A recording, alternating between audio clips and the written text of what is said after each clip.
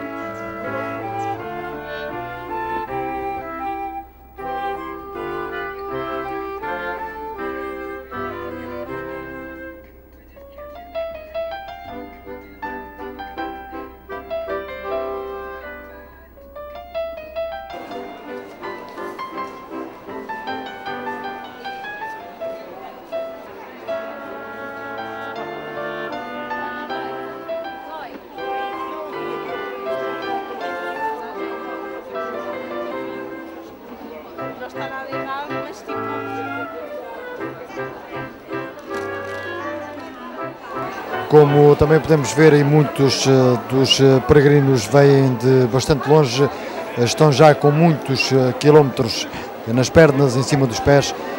Aqui também em Minde aproveitam, como naturalmente o farão noutros locais, para recuperar e também para receberem alguns cuidados de enfermagem.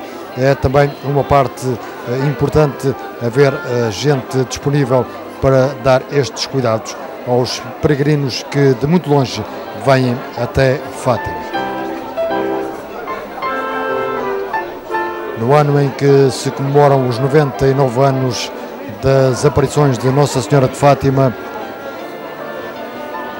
Minde uma vez mais a receber aqui muitos peregrinos.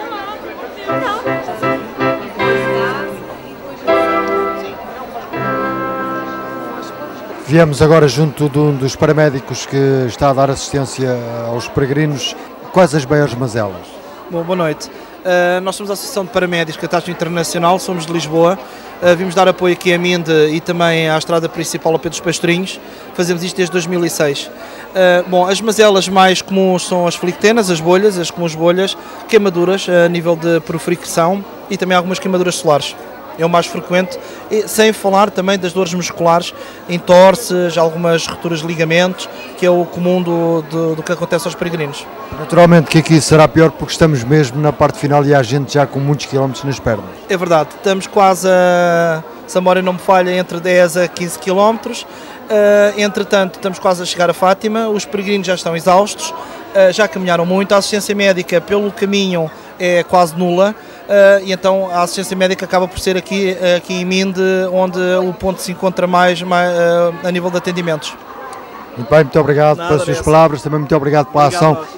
Viemos agora junto de uma das peregrinas que está a receber assistência médica. Muito boa noite, perguntava-lhe de onde é que vem. Eu venho de Rio Maior. Está neste momento a receber uh, assistência uh, de enfermagem, uh, já pesam os quilómetros? Já, um bocadinho. Um bocadinho, a primeira vez, um bocadinho. Mas pensa chegar até Fátima?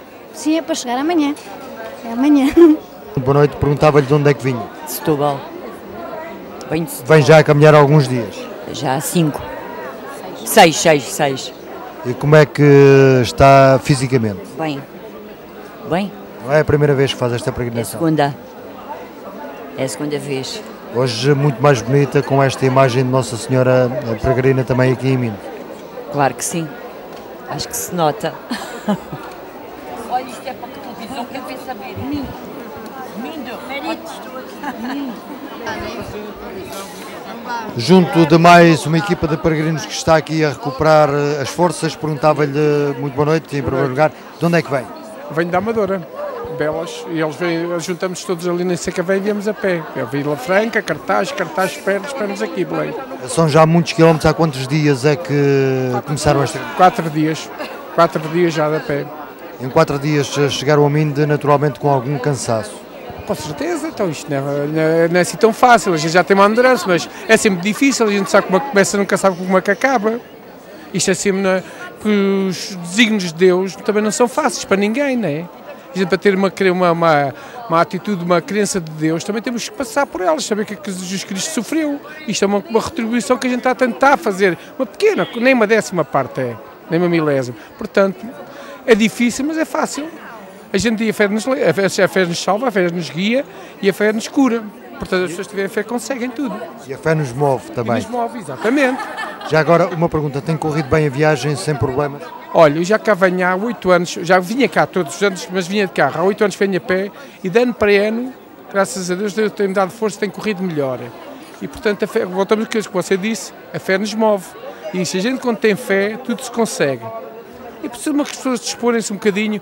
Isto, às vezes as pessoas pensam que a gente vai fazer uma prova física, não, a gente vai fazer um retiro espiritual. E quando as pessoas fazem um retiro espiritual, tudo se consegue. E as pessoas têm que estar em Deus, com paz com Deus. Quando vêm em peregrinação, vêm no retiro espiritual, não vêm numa prova física, nem para provar nada a ninguém, nem a eles mesmos, mas sim perante Deus. É isso também, está bem? Amanhã pensa naturalmente chegar a Fátima? Sim, sim, por volta do meio-dia. É, com certeza só por muito azar, quer dizer, não sou dono da verdade, só que uma coisa divina de muito má, má força que viesse contra mim, mas não, mas estou com Deus, acho, acho que vou conseguir mesmo. Esta noite foi também especial por recebermos aqui a imagem de Nossa Senhora Peregrina eh, em Minas. Mas a Nossa Senhora, a Nossa Senhora Peregrina é sempre especial em todo lado. É a mãe de Deus, é a mãe da paz. A Virgem Maria, sou devoto, ela já me apareceu duas ou três vezes pessoalmente a mim. É, estou a falar consigo, estou-me toda a arrepiar. Ela me salvou, dia morrendo na carrinha uh, que ia ficando assado. Isto é verdade, isto é pura verdade. Vocês acreditem, Deus salva, Deus é amor, Nossa Senhora é, é paz da, da, Igreja, é paz do mundo. Acreditem que é a luz da, da vida. ela é a luz que ilumina o mundo. Sem ela, o mundo seria bem pior, porque ela foi o princípio de tudo. A Virgem Maria, nunca podemos esquecer, foi o princípio da fé cristã. Perceberam? É o princípio da fé cristã. Tudo que nós somos, que sabemos e que somos amados e não sei o quê, é através dela, do amor dela que nos deu a nós. Porque ela foi concebida sem, sem pecado, Deus Jesus Cristo, e os cristãos não têm que ter vergonha de falar da Nossa Senhora de Fátima. Ela é pura, ela é a luz da vida. Nunca se esqueçam disto. Não tenham vergonha. Não tenham medo. O Papa diz: não tenham medo. Amem a Deus, amem a Nossa Senhora de Fátima. Não tenham medo. É que as pessoas têm vergonha, às vezes têm medo, parece mal, mas parece mal aonde? Eu estou com Deus, estou com a nossa verdade, estou com tudo. Eu vou até ao fim do mundo. Não tenham medo. É isso que é mais importante, está bem? A Virgem Maria nos guia a todos nós. Ela foi salvou João Paulo II. Ela salvou-nos da Segunda Guerra Mundial. O que é que vocês querem mais para provar? Digam! Muito bem, muito obrigado. O resto então de uma boa viagem e que cheguem em paz e tranquilidade até Fátima.